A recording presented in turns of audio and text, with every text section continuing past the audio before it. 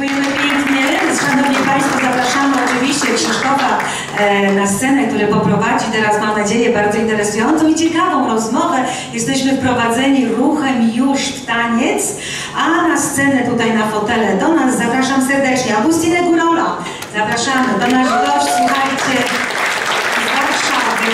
Rzeczywiście wspaniały ambasador tańca. Ania Błogowska, Aniu, zaprzyjaźniona z nami, z Olsztynem, z miastem.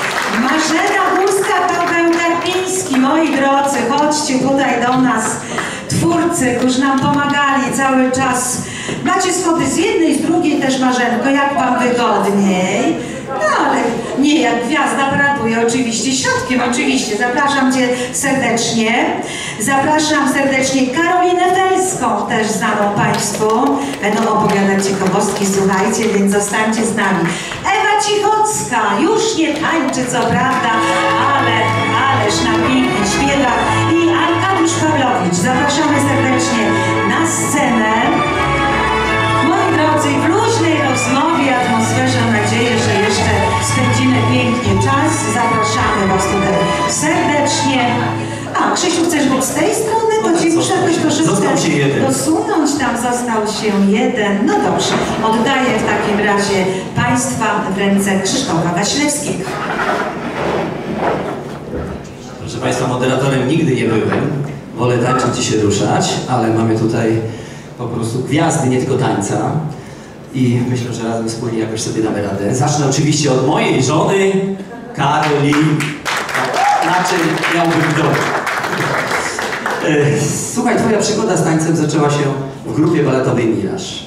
Kolejnym etapem był taniec towarzyski, oczywiście y, z partnerem Krzysztofem Wasilewskim. No, tak. I mężem zresztą. Z którym największe sukcesy odnosiłaś mieszkając i tańcząc za granicą. W Anglii i w Niemczech. Spędziłaś tam razem z mężem prawie 11 lat. Czemu tak daleko? E, Po osiągnięciu pierwszego tytułu mistrza Polski, e, nasza, moja siostra w sumie, szwagierka Krzysztofa powiedziała, że jest, słuchajcie, czas iść dalej. Czyli jechać do Londynu, tam byli najlepsi trenerzy. E, No i taka decyzja wtedy, pojechaliśmy na zaproszenie, wysiedliśmy na lotnisku i co dalej, tak? Nie mamy mieszkania, nie mamy pieniędzy, rodzina się złożyła, pożyczyła nam pieniądze tam na pierwsze kilka dni, a później już po prostu trzeba było sobie dawać radę razem. E, I był to wspaniały czas i dlatego tak e, długo mieszkaliśmy. Studiowaliśmy później, również w Niemczech. No i w pewnym momencie decyzja o powrocie do Polski albo pojechania do Stanów Zjednoczonych. Mieliśmy możliwość przejęcia szkoły tańca w Nowym Jorku, e, na Florydzie, mogliśmy zostać w Niemczech. E, Decyzja jednak była, że wracamy do Polski, a jak wracamy do Polski, to do jakiego miasta? Warszawa, Kraków, Szczecin? No i oczywiście wygrał Olsztyn. Olsztyn, ponieważ jest to nasze miasto rodzinne, mm, tu byli nasi rodzice, urodziliśmy się oboje w Olsztynie i doszliśmy do wniosku, że dużo dostaliśmy tutaj i przyszedł ten czas, żeby to oddać, oddać młodszym tancerzom. sentymentalnie to zrobiło. Po zakończeniu kariery e, otworzyłaś razem z mężem szkołę tańca. Prawie 15 lat organizowałaś największy w tej części Europy festiwal, e, festiwal Tropicana Cup w Mikołajkach.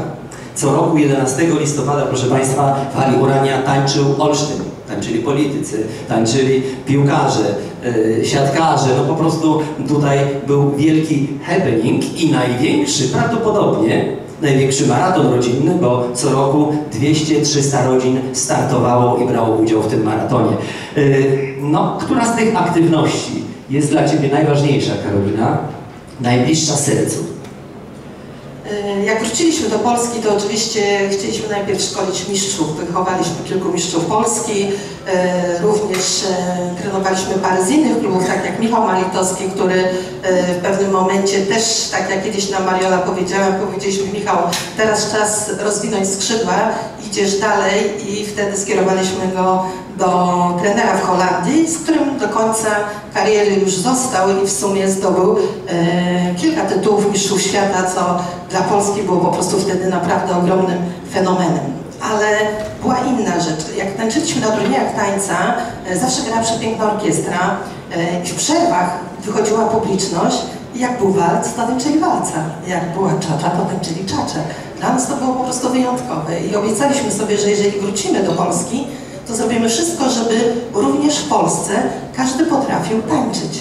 I wtedy przyszedł pomysł 29 lat temu, żeby stworzyć ogólnopolską szkółkę tańca i dobrych manier, bo powinno się zaczynać od najmłodszych. No i proszę Państwa, przez te 28 lat, na początku sami w czterech szkołach olsztyńskich, później już w całej Polsce z naszymi partnerami, to jest proszę Państwa 800 tysięcy dzieci, które wzięły udział już w tym programie i po prostu nawet gdyby później nie tańczyły, to wiecie, jak się coś już nauczy za dziecka, to później szybko to wraca.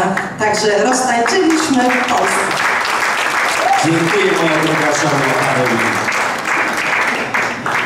Agustyn, jesteś następny. Ready? Tak, tak, jestem gotów. Jesteś gotów. Proszę Państwa, znany choreograf największych wydarzeń, koncertów, festiwali, programów telewizyjnych. Taniec z gwiazdami, The Voice of Poland, Jaka to melodia, Euro You Can Dance, Czy mam talent. Bardzo miło Cię powitać w Olsztynie. Ja Cię już bardzo dawno nie widziałem. Jestem też bardzo wzruszony po obejrzeniu tego filmu. Y, Z tego co wiem, na początku swojej kariery tan tanecznej gościłeś w naszym mieście dużo częściej. Jak to było? Naprawdę wszystko tak zaczęło się od Olsztyna i przez tutaj przez 4 lata przyjeżdżałem w każdy wtorek i środa do Iwony Jarka Pawlowiczów. To byli moi trenerzy, to byli moi mentorzy i oni mnie doprowadzili do pierwszego tytułu mistrza Polski i to, co, za co ich też cenię, że w pewnym momencie powiedzieli wystarczy już tutaj, musisz jechać dalej i widać, że potrafili po prostu nie tylko mną pokierować, ale e, tak się naprawdę mną zaopiekować. Brawo, Arek Iwona. Ale ja pamiętam Ciebie, e, jak tańczyłeś z Joanną Szukalską, tańce latynoamerykańskie na turniejach. Kilka razy zdobyłeś tytuł mistrza Polski. Byłeś taką wschodzącą gwiazdą na firmamencie już międzynarodowym. I nagle wybrałeś inną drogą. Drogę. Dlaczego? Ja bardzo, nie chcę powiedzieć, że e, cierpiałem, ale nie widziałem, żeby ten taniec miał należytą oprawę. I cały czas szukałem, e, żeby ten taniec e, zyskał, zyskał rangę. Myślę, że tak naprawdę to cała ta moja droga taneczna była po to, żeby powstał ten program Taniec z Gwiazdami.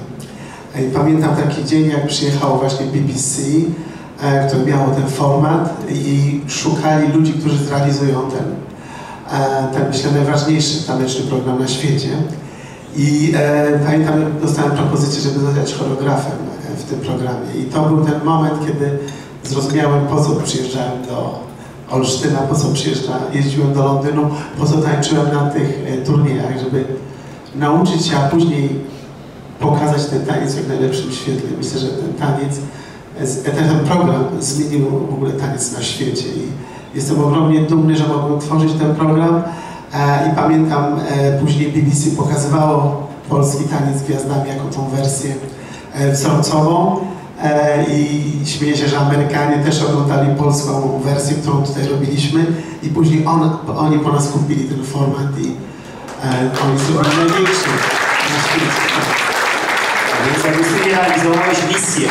Do dnia dzisiejszego chyba realizuje. Tak, często jak byłem e, w tym studiu telewizyjnym, e, taki strasznie zmęczony po kolejnej edycji, ale też szczęśliwy, e, to tak naprawdę rozumiałem, po co to wszystko w życiu było, dlaczego ten taniec towarzyski był, żebym mógł pokazać w lepszym świetle.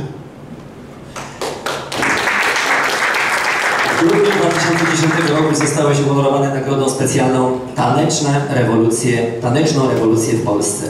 Ta metamo- metamorfoza sceny tanecznej w telewizyjnych programach była, była prawdziwą rewolucją, bo widzieliśmy jak wyglądali tancerze w PRL-u, a później y, po wejściu y, zespołu Volt i, i różnych innych Twoich pomysłów. Powiedz mi, czy to też tak odczułeś, że to po prostu była kompletna zmiana? Trudno, e, trudno mi e, o tym wszystkim mówić, dlatego, bo ten taniec mnie ukształtował.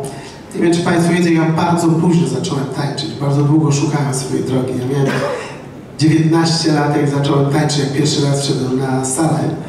I e, myślę, że tak jak każdy młody człowiek, po prostu całe życie szukałem swojej pasji. I w momencie, jak ją znalazłem, to moje życie się po prostu wywróciło a, o 360 stopni. I a, taniec towarzyski to też był taki moment, który mnie kształtował.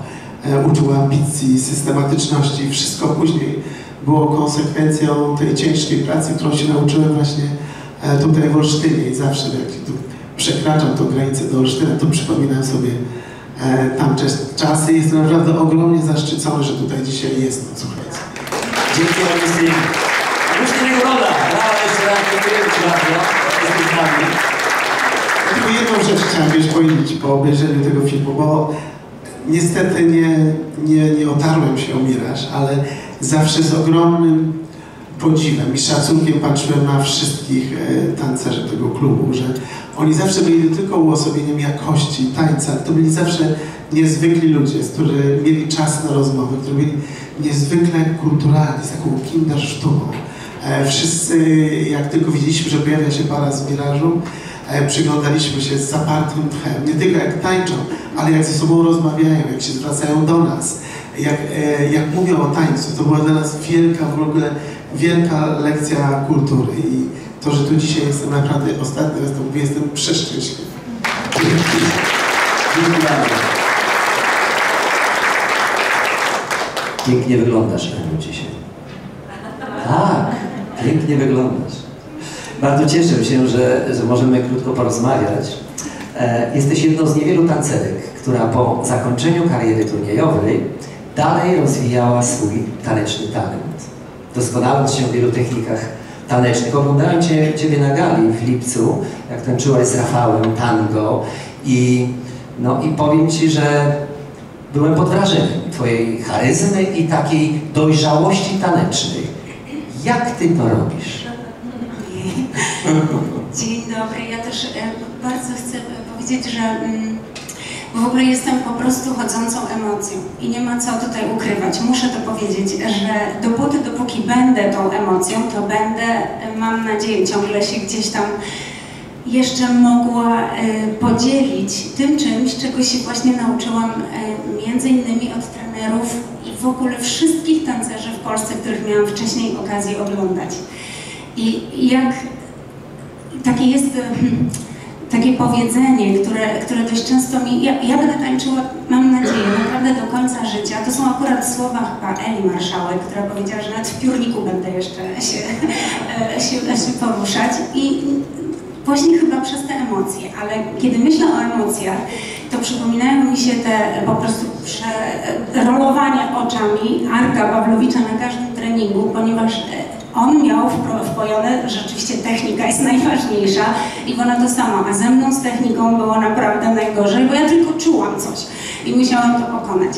I ja nigdy nie zapomnę tego, jak oni próbowali do mnie dotrzeć, żebym ja naprawdę jak przez jakąś anegdotę, przez jakieś porównania do jakichś dziwnych ruchów, najróżniejszych, nie wiem, zwierząt, pojazdów, nie wiem, czegokolwiek, żebym coś przez to swoje ciało prze, prze, mogła przemielić i potem ewentualnie wyjść na ten parkiet i, i godnie reprezentować. Natomiast dla mnie było też takie piękne, że mm, Piotr Galiński e, zajmował się mną od dziecka i on między innymi cały czas wpajał mi i zadawał mi pytanie, po co ten ruch jest? Po co ten ruch? Ja zawsze musiałam się zastanowić, no faktycznie on musi coś więcej wyrazić i dzięki temu tańcowi można wyrażać tyle emocji. Dlatego nigdy nie przestanę tego robić i mam nadzieję, że nawet jak będę naprawdę bardzo już e, no taką e, leciwą, dojrzałą, tak, e, kobietą, to zawsze znajdę jakąś technikę dla siebie i wierzę, że dla wszystkich w ogóle jest zawsze czas na to, żeby tańczyć. A to, że jestem tutaj dzisiaj wśród Państwa, to jest dla mnie takie wzruszające. Przecież ja dzięki Państwu, Pani Karolino, jest, jest, byłam na najpiękniejszej imprezie tanecznej jako dziecko, zaproszona w formacji kamionek.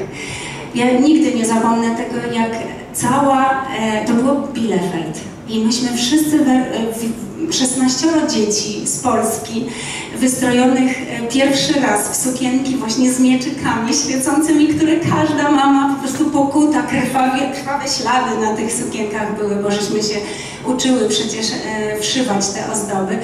Jak nam dech zapier- zapierało, jak, jak później publiczność wstała i klaskała, Zaraz po tym, jak na parkiecie widzieli samych mistrzów świata, no wspaniałych tancerzy i my, i my z Polski.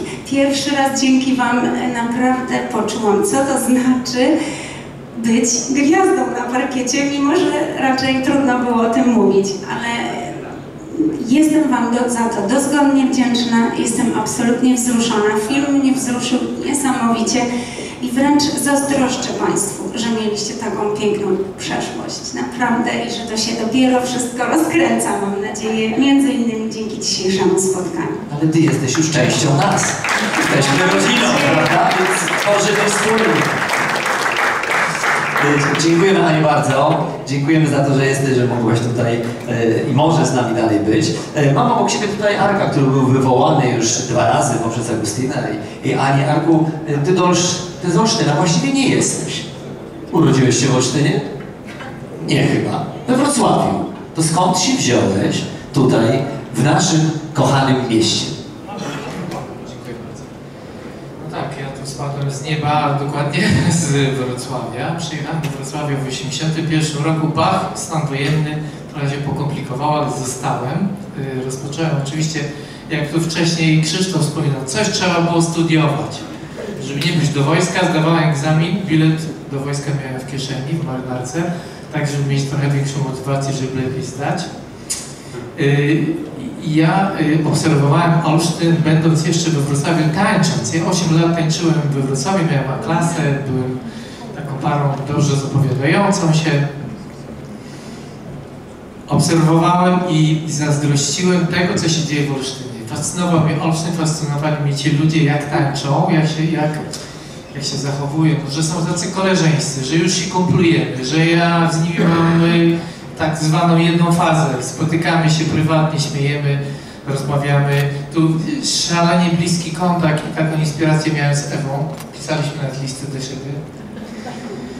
Yy, takie koleżeńskie oczywiście, yy, ale no Ewa... Jeszcze tak nie zarzekaj. No. Nie wiadomo, co jeszcze raz czeka. No, słuchajcie, spełnieniem, spełnieniem na tamte czasy moich marzeń było przyjechać do Olsztyna i tańczyć. Chociaż miałem y, też taki plan awaryjny, pomyślałem, a może po prostu sobie tak pojadę do Londynu i tak wszystkich zaszachuję i tak, no będzie, no będzie niesamowicie. Pierwszy polak w kosmosie to będzie pierwszy polak Londyny ale nic z tego nie wyszło. To były bardzo trudne do zrealizowania plany i wydaje się, że bardzo dobrze, że znalazłem się w Olsztynie i że tak życie moje się ułożyło, że poznałem Iwonę. Oczywiście Iwonę znałem wcześniej, ale nie planowaliśmy ani wspólnego tańca, ani wspólnego życia. Chociaż tam jakieś iskry były i, i muszę powiedzieć, że y, często się spotykaliśmy, bardzo lubiliśmy. No y, cudownie, po prostu te lata w Mirażu, a potem lata w Muzie y, były dla mnie czasem, który mnie wzrusza, który mnie z, nakłania do wspomnień, y, który jest jakby chyba najciekawszą, najlepszą częścią mojego życia. Dziękuję, ale znowu sentymentalnie się zrobiło. E, Marzena Górska, jedna z pierwszych dziennikarek, redaktorek, która w latach 70., 80. realizowała programy taneczne na antenie telewizji polskiej. Skąd to zainteresowanie tańcem? Dlaczego właśnie taniec? To znaczy, to był troszkę przypadek.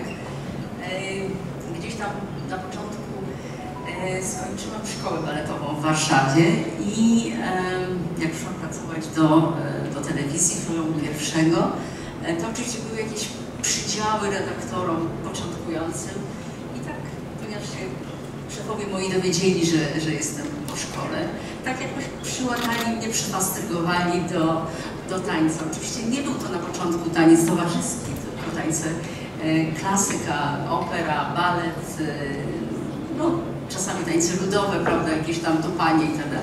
A potem już potoczyło się to wszystko znacznie szybciej i, i w latach 80. już po stanie wojennym, jak wróciłam do pracy, em, Zadam Twoje pytanie na pewno. Nie, bo chciałam powiedzieć o tym, że, że jak em, Krzysztof i Karolina zaczęli swoją karierę, tak nagle się okazało w mediach, w telewizji, w prasie, że jest taka para, która zdobywa laury w Europie i może warto by było coś o tej parze zrobić. I tak się zaczęła moja przygoda z Wami, z tańcem towarzyskim. I wtedy przyjechaliście do Gütersloh, do Niemiec, żeby między innymi też pokazać dla polskich telewidzów, jak wygląda prawdziwa szkoła tańca.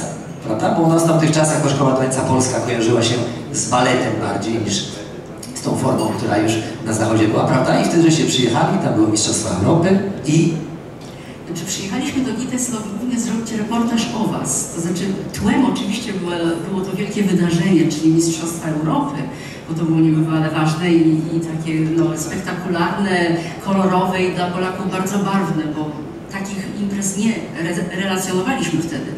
E, ale od tego reportażu o Was, gdzie właśnie z kamerą chodziliśmy trop, trop od fryzjera, po ubieranie się, kostiumy, może Wam się trochę narzucaliśmy, bo za, za, za dużo nas było wszędzie przy Was, ale to było dla nas niebywałe przeżycie również takie zupełnie prywatnie, bo to, nie wiem, ktoś mówił przed, mówca mój przed chwilą, że e, Karolina mówiłaś o tym, że dla Ciebie było takim dużym e, pod wrażeniem byłaś jak po występach profesjonalistów czy amatorów, ludzie z widowni stają między rzędami tańczą walca, tango i tak dalej. Dla nas wielkim szokiem było to, jak Gerd Weisenberg zaprosił nas do swojej szkoły, gdzie ludzie w naszym wieku, dla mnie to była wtedy epoka, strasznie starzy ludzie, tak pięknie tańczyli, byli wzruszeni, spędzali ze sobą czas i to było naprawdę wtedy dla nas coś też niebywałego, takiego, czego w Polsce w ogóle nie było. Takie, to wielkie doświadczenie wtedy dla nas. Dziękuję Marzena. Y, Pamiętam, że dzięki Tobie y, mogliśmy również podziwiać w telewizji polskiej pierwszy zawodowy y, turniej. To były Mistrzostwa Europy w tańcach standardowych zawodowców w 1997 roku, prawda? I tego jeszcze w ogóle nie było w Polsce, a dzięki Tobie to się udało pokazać polskim widzom. Znaczy ja myślę, że w ogóle trzeba pamiętać jedną rzecz, że to były trochę takie przaśne lata PRL-u jeszcze, znaczy nie 90, ale te wcześniejsze, gdzie była tylko jedna telewizja, były tylko dwa kanały.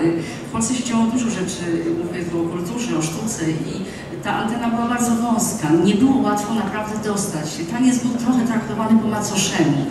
E, nasze programy bardzo często spadały z anteny.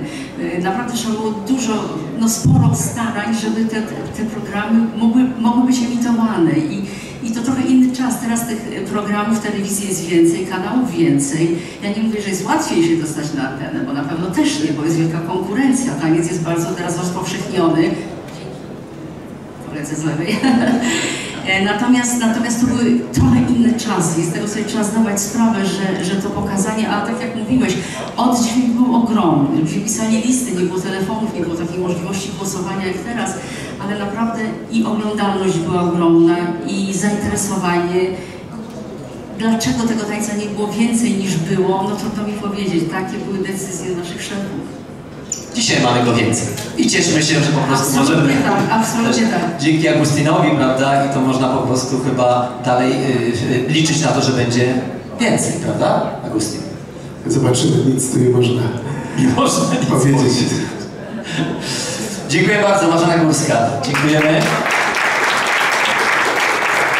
Proszę Państwa, Paweł Karpiński. Jako reżyser, scenarzysta, producent zrealizowałeś wiele filmów, ale jesteś mistrzem i prekursorem seriali telewizyjnych. W Labiryncie, Klan. Dlaczego właśnie seriale, Paweł? Dlaczego? To chyba mi najlepiej wychodzi. Zrobi, zrobiłem filmy fabularne, były, były popularne, e, ale seriale właśnie w Labiryncie i Klan najbardziej się przyjęły. Ciągle, ciągle odbieram tantiemy.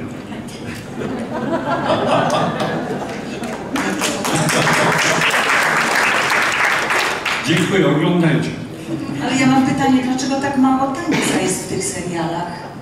Proszę Proszę Pani, to nie jest tak. Po prostu taniec posiada pewną fra, taką frazę, no strasznie trudno to ciąć, a ja mam czas, ja mam określony czas emisyjny i musiałbym na przykład dać tylko dwa kroki. Rozumiem, rozumiem. Tylko nie wiem, które. Teraz jak muszę znaleźć taką tajemnicę. Ja w ogóle nie tańczę. W ogóle nie umiem. E, ale strasznie mi się taniec podoba. Dlatego też, jak tylko miałem okazję e, z, tutaj ze swoją żoną, bo nie chciałem, żeby sama jeździła na takie transmisje, to z, z nią zrobić jakieś, e, jakieś projekty, to czułem, że po części realizując te programy, uczestnicząc w nich, tańczę przez to. Nie, nie lepiej tańczę, tylko tańczę, ci, oni tańczą we mnie po prostu, ci na, y, te y, ci na, na ekranie. Oprócz tego wydaje mi się, że właśnie to, co tutaj mówiliście wszyscy, że taniec daje szansę na taką emocję i widz, który jest na sali, odbiera tą, tą emocję bezpo, bezpośrednio i ma absolutną pewność, że to nie jest tak jak wyłącznie w teatrze, że się powtarza. To jest raz turniej, to jest tak raz na, naprawdę i potem już może być tylko inny turniej. To jest jeden, jeden moment, kiedy publiczność widzi to, co jest najistotniejsze, czyli emocje. Kiedy te emocje wędrują w powietrzu między jedną stroną, między sceną a, a publicznością. I to jest, to jest piękne i pokazać to naprawdę to jest duża, duża frajda i dlatego z dużą radością robiłem to. E, Jeśli chodzi, jeśli chodzi o seriale, to no, naprawdę, to jakoś się okazało, że to jest najłatwiejsze, jestem leniwy, więc dlatego Dlatego między innymi 4200 ileś odcinków planu mamy. Mamy jeszcze zapowiedź kolejnych kilkusetek, naprawdę. Mam nadzieję, że docią- dociągnę.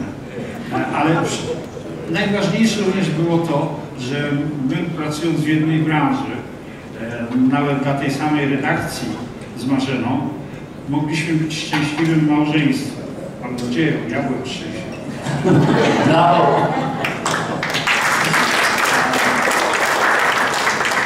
Dla ciekaw... Ja chcę tylko powiedzieć że Pawła nazywano często e, ojcem polskich seriali. Ja już teraz mówię dziadku, dziadku polskich seriali. A Marzena jest młodsza ode mnie, a ja całą, a wychowaliśmy się razem w jednej piaskownicy. To jest, to, jest, to jest prawda, a potem ja chodziłem do Reja i jak się jedzie do Reja z Podwała, ze Starego Miasta, to się przechodzi obok szkoły baletowej. Także, także te, to się jakoś dobrze, dobrze ułożyło i myślę, że na, to też miało wpływ na to, że tych programów było sporo i nie było żadnych takich konfliktów przy ich e, realizacji. Oprócz tego ten, ten ważny film, który robiliśmy w Biteslo z Wami, jest jedynym filmem, ponieważ jestem absolwentem szkoły w Wydziału Operatorskiego, mam dyplom. Jest jedynym filmem, do którego zrobiłem zdjęcie. Także to jest dla mnie w ogóle bardzo, bardzo emocjonalne, emocjonalna rzecz. I mm, myślę, że tak się ułożyło, w którymś momencie trzeba było powiedzieć, że odchodzimy, bo się formuła zmieniła, powstały fantastyczne inne, inne programy. Ja już zupełnie wpadłem w ten świat, w ten świat ale zawsze to będziemy miło wspominać i często spotykam już kolegów, którzy też już nie pracują, e, bo są po prostu już, już nie pracują. I oni mówią, a pamiętasz jak robiliśmy, jak wyjeżdżaliśmy na te tańce, mówię, jakie to były fajne czasy. Także dziękuję Wam bardzo. Dziękujemy. Paweł Kapiński. Rodzina taneczna. Czy widzicie tą panią w czerwieni? Lady in Red. Lady in Red. Ewa Cichocka. Witam. Miałaś 16 lat, jak zaczęłaś stawiać swoje pierwsze kroki. taneczne. Pamiętam jak razem występowaliśmy na Karolku, taki zespół był tańca towarzyskiego, tańczyliśmy czacze, rock'n'rolla w takich jeansach i koszulkach niebieskich. Pamiętasz? Tak, Pój, to- pój. ale to, to nie, było, nie był Miraż przypadkiem? No, może był Miraż, początki przedsionek to już tak. Potem zaczęły się indywidualne wyjazdy na turnieje, zdobywałaś klasy taneczne, jakaś droga. Ale jak ty wspominasz na te czasy? Bo to po prostu było, tak jak wszyscy mówimy, coś wyjątkowego. Y, Oczywiście, że to było coś wyjątkowego. Tak jak wspomniałeś, ja miałam 16 lat, tutaj Agustin mnie podbudował, że miałeś 19 lat, jak zacząłeś tańczyć, ale rzeczywiście y, y, to było w ubiegłym stuleciu. Y, I w tamtych czasach to było coś takiego, że 16-19 lat to był początek drogi. W tej chwili, jak ktoś ma 16 czy tam 17 lat, to już jest na wszystko za późno. Natomiast my mieliśmy to szczęście, że mieliśmy czas, żeby y, tę swoją drogę znaleźć, żeby znaleźć swoją pasję i żeby się ukształtować. I w tym momencie y, ja trafiłam do Mirażu i to dla mnie zaowocowało y, niesamowitymi przyjaźniami. Tu Arek wspomniał, Iwona, Karolina Krzyk, wszyscy po prostu to, to są takie przyjaźnie głębokie, które towarzyszą mojemu życiu przez blisko 50 lat. I, I bywa tak, że my się możemy y, nie spotykać przez wiele miesięcy, wiele lat, ale gdzieś ta świadomość, że jesteśmy obok siebie, że sobie towarzyszymy, jest y, niezwykła i jest niesamowicie ważna, y, co mi uświadomił ten cały rok, że my rzeczywiście przez wiele lat nie, nie, nie prowadziliśmy wspólnych żadnych działań, a kiedy się spotkaliśmy i założyliśmy ten komitet obchodów 50-lecia Mirażu, okazało się, że, że tak, że my ciągle jesteśmy tymi dzieciakami, y, którymi gdzieś tam byliśmy te 50 lat temu. Czyli to był ten pierwszy moment i te przyjaźnie to jest dla mnie ogromna wartość. A drugą y, niesamowicie ważną rzeczą jest dla mnie to, że w momencie, kiedy ja zaczęłam tańczyć, y, to ja po raz pierwszy dotknęłam sztuki i y, uświadomiłam sobie, że to jest droga, którą ja chcę podążać przez całe swoje życie. I nie ma znaczenia, czy to będzie taniec, czy to będzie śpiew, literatura, aktorstwo, film, nie ma znaczenia. Bo jeżeli się uprawia sztukę, to wtedy y, człowiek jest y, blisko procesu stawania się. Człowiek codziennie się dowiaduje tego, co jest w nim, czyli tym samym, co jest w innych ludziach, czyli to jest ciągłe zaglądanie w siebie, to jest wspaniałe i to jest poczucie, że Twoja dusza rośnie. I to poczucie wzrastania, to uprawianie sztuki, to jest najwspanialsza droga, według mnie, jaką, y, jak poczułam, że chcę to robić, że chcę y, się tym zajmować. I dzięki temu ja tak naprawdę nigdy nie przestałam tańczyć. I to mi uświadomił ten rok cały, że ja mimo tego, y, mimo tego, dzięki temu, że śpiewam, czy gram, czy, czy cokolwiek robię na, na scenie twórczo, to ja cały czas tańczę. Ja się unoszę nad ziemią, ja latam, ja fruwam, ja marzę, ja realizuję marzenia i moje życie jest szczęśliwe, bo ja zrobiłam ze swojego życia dzieło sztuki. Państwu tutaj obecnym, tu i tu, nie muszę tego tłumaczyć, bo w ogromnej, yy, ogromnej części yy, wszyscy się zajmujemy sztuką, więc wiedzą Państwo doskonale, co znaczy zrobić ze swojej pasji swój zawód, i, i, i swoje, swoje zajęcie, wypełnić życie swoją pasją, kiedy się żyje nie dla pieniędzy, nie dla e, sławy, poklasku, tylko żyje się dla realizowania swoich marzeń i dla satysfakcji z tego, co się robi. I, I wtedy właśnie życie staje się szczęśliwym. Moje życie takie jest. Mam nadzieję, że Państwa również.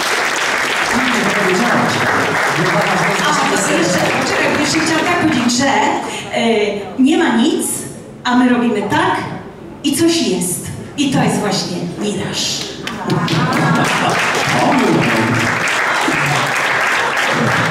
Na Olsztyn kocham. To kultowa piosenka Czerwonego Tulipana, którego jesteś częścią i tą wokalną, i tą taneczną. Ale pomijając Olsztyn, co jest twoją największą miłością? Taniec, śpiew, aktorstwo, estrada, a może o czymś nie wiemy? Oczywiście, że nie wiemy o wielu jeszcze rzeczach, bo jestem młodziutka i e, wszystko przede mną.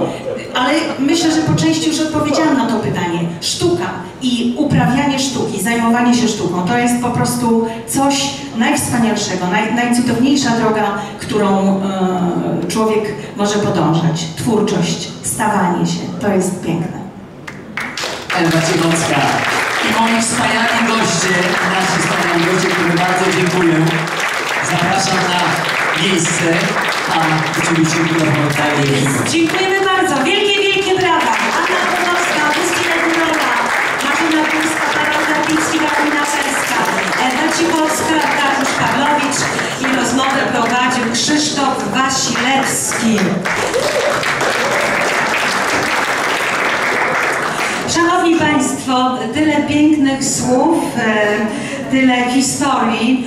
E, Myślę, że tak można by było jeszcze dłużej, dłużej na ten temat rozmawiać, ale rzeczywiście piękne słowa padały. Zgadzam się tutaj z Ewunią, że oprócz całego tańca pozostaje w nas zawsze, e, pozostają w nas zawsze przyjaźnie, ale obcowanie ze sztuką jak najbardziej. Szanowni Państwo, za dużo słów, w jakim razie ja kończę, dla tych najbardziej wytrwałych, a to jeszcze nie koniec, ponieważ musimy znowu nacieszyć nasze oczy i poddać się urokowi tańca i muzyki. Zapraszamy.